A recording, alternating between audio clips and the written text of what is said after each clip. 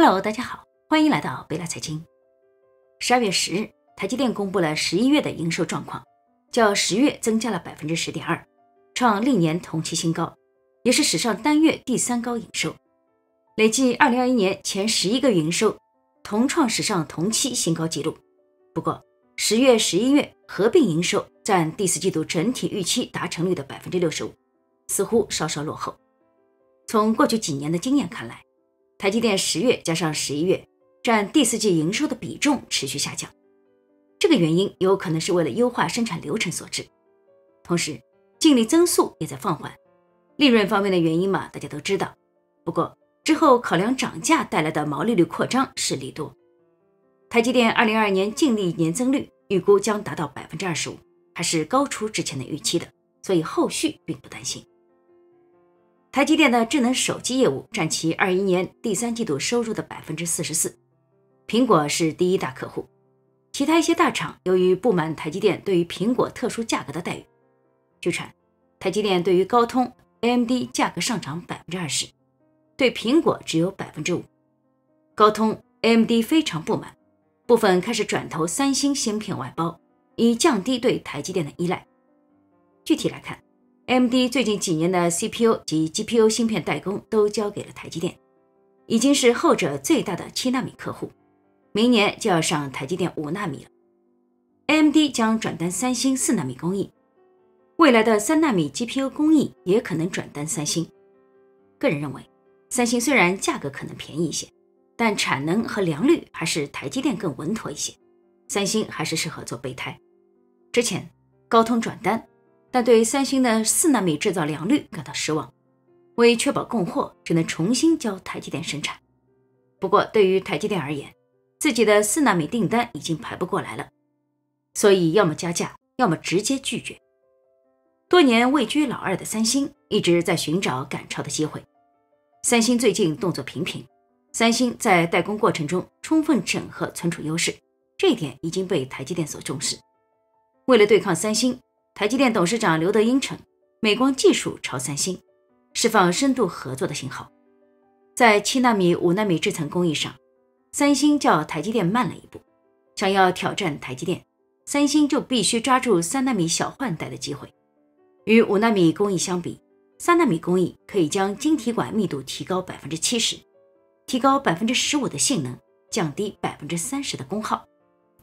虽然台积电在芯片三纳米制程工艺上的布局时间较早，二零一六年就已经开始计划建设相关晶圆制造工厂，但三星发力更猛，并且凭借新的技术欲实现弯道超车。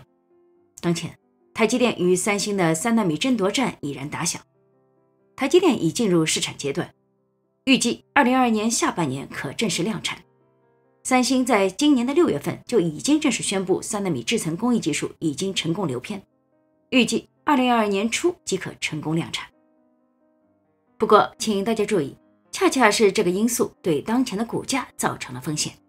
目前，至少有两个独立的消息来源已经证明，三纳米在二零二一年十一月开始风险生产，这比五纳米晚了两年零八个月，表明与通常的节奏相比，延迟了八个月。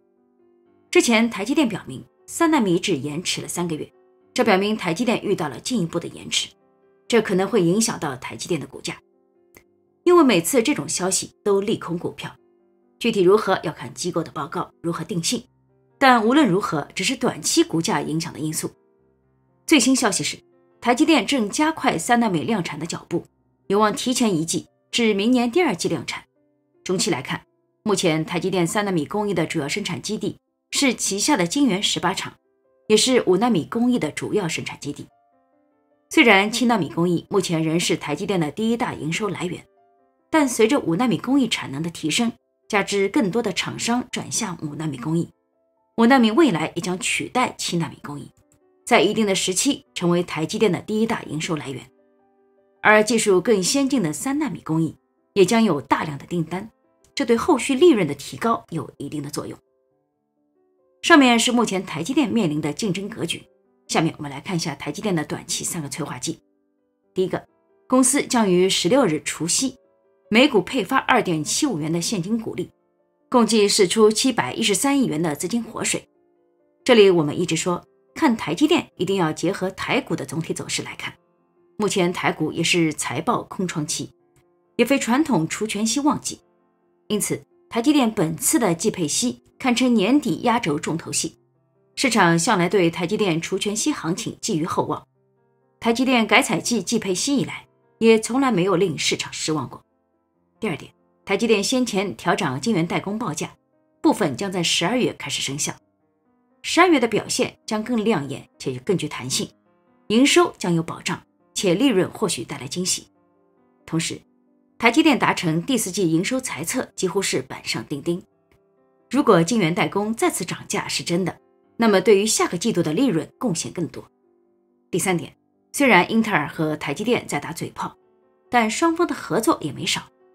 本周，基辛格将在下周拜会台积电高管，重点是在一个 GPU 和三个数据中心 CPU 项目上合作。此次英特尔拜会台积电高层，就是确保三纳米工艺的分配，避免被苹果产能挤占。用英特尔的话来说，就是取得平衡竞争与合作的关系。基辛格也将访问马来西亚，这是他接任英特尔 CEO 以后首次访问亚洲，可见。竞争是为了更好的合作，是经常的戏码，对于双方都有利。如果台积电和英特尔和解，有助于避免在美国继续被打压。上面说的三点都是台积电短期的催化剂，但对于整个半导体行业来说，大家都在盯着美国高达五百二十亿美元的半导体补贴。这里我们来看英特尔，英特尔 CEO 基辛格近来呛声台积电，说台积电的坏话，引发了业界极大的关注。不光台积电董事长刘德英回应，连九十岁的台积电创办人张忠谋都出来讲话，并预言英特尔 CEO 五年内难以重返盛况。不相信六十岁的英特尔 CEO 基辛格能够带领英特尔复兴，因为英特尔的规矩是六十五岁就退休。对此，基辛格表示，只要健康允许，他还会在 CEO 的位置上再干上几年，留任六年到八年，带领英特尔复兴。其实。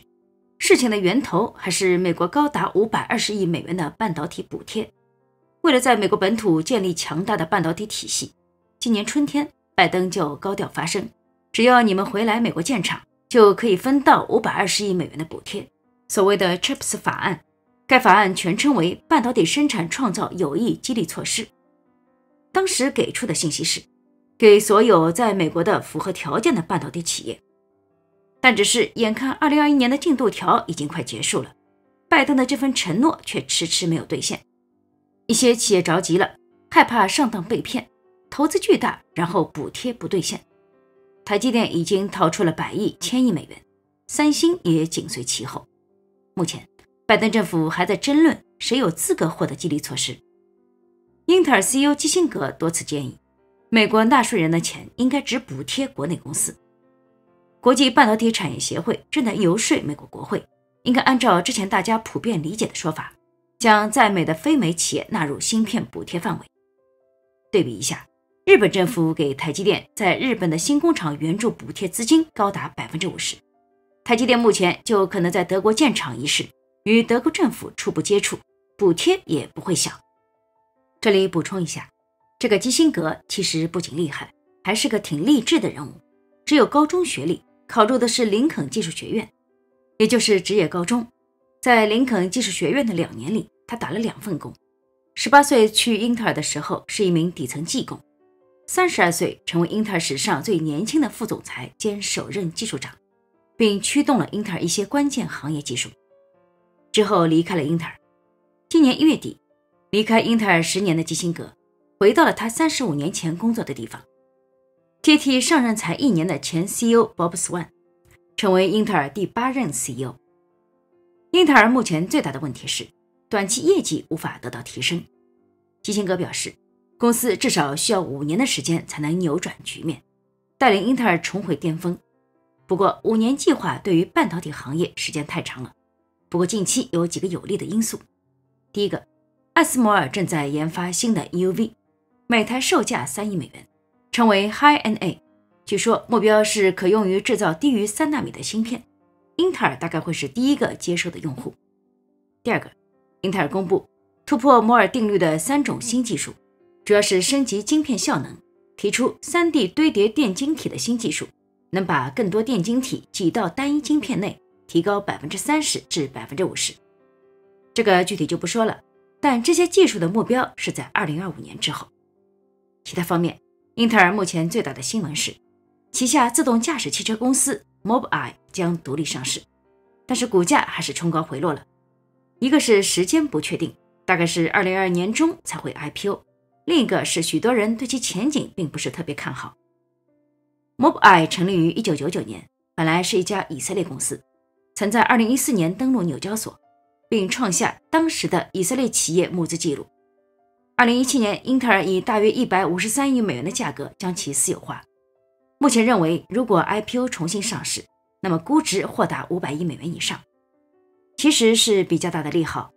但与四年前上市相比，公司面临更多的竞争对手，特斯拉、谷歌、百度、英伟达之外。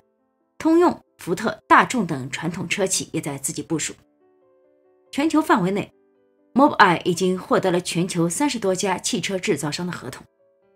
一个不利的因素是，相对于前些年的势头，车企更愿意用软件作为自身的护城河，而芯片由于难度较高，依然需要采购。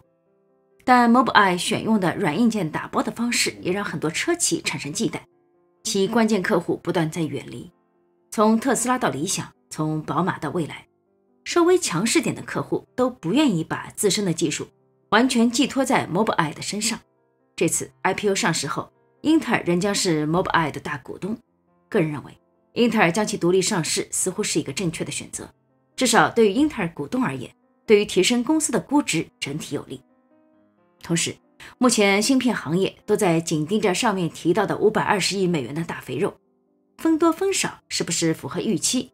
英特尔能不能如愿以偿拿到大头，或者说台积电可以分得一杯羹，还是最终空手而归？这些都是焦点。